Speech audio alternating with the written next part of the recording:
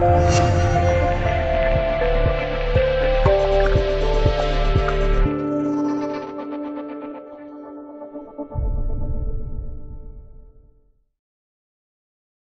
国女篮在历史上曾经有着非常辉煌的战绩，球员的技战术水平和心理素质也是相当过硬，一度拿到过九二年奥运会的亚军和九四年世锦赛的亚军。而在那之后，国家队又涌现出了苗立杰和陈楠这样的中流砥柱。接下来，我们就来盘点一下中国女篮历史上的五大核心球员。宋晓波带队拿下世锦赛第三。宋晓波出生于篮球世家。是一名非常全面的女运动员，在场上运球过人非常犀利，还有一手精准的跳投，是上世纪七八十年代中国篮坛的风云人物。在一九八三年女篮世锦赛上，宋晓波帮助女篮拿到了第三名的好成绩。同时，在两年后的亚洲锦标赛上，宋晓波在对阵朝鲜队和日本队的比赛中力挽狂澜，一人砍下三十五分，率队夺冠。但因为长期受到伤病的折磨，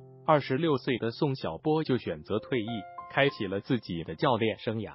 在一九九九年，宋晓波被评为了中国篮球运动员五十杰之一。美女球员隋菲菲，隋菲菲可以说是中国女篮历史上最好的前锋之一，有着极强的造杀伤和防守反击能力。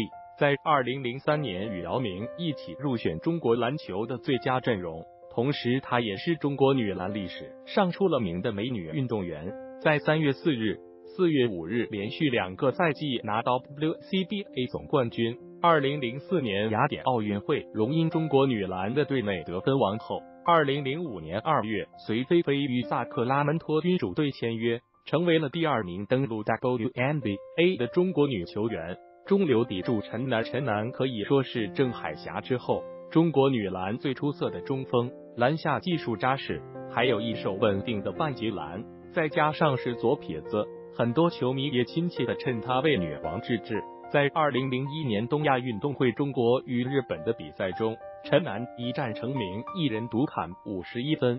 还有二零一零广州亚运会上，小组赛面对韩国独得二十九分，在决赛中再次与韩国相遇，陈楠最后时刻打进二加一。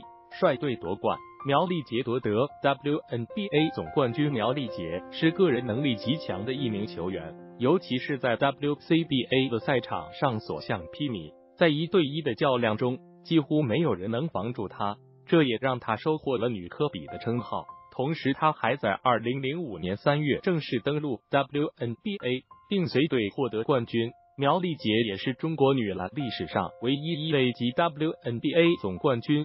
WCBA 总冠军、亚运会冠军和亚锦赛冠军于一身的球员，整个 WCBA 生涯得分超过六千分，领先第二名的陈楠多达二零零零多分。在国家队层面，苗立杰率队获得北京奥运会第四，可以说苗立杰就是中国女篮复兴路上的标志性人物。巨无霸郑海霞，郑海霞是中国篮球历史上的霸王花，由于身高上的优势。在篮下有着强大的攻击力，他也是中国篮球历史上第一位打进 WNBA 的球员，同时还带领中国女篮在奥运会、世锦赛两夺银牌，一度被公认为是世界第一中锋。而他在中国篮球界的地位也绝对不亚于姚明。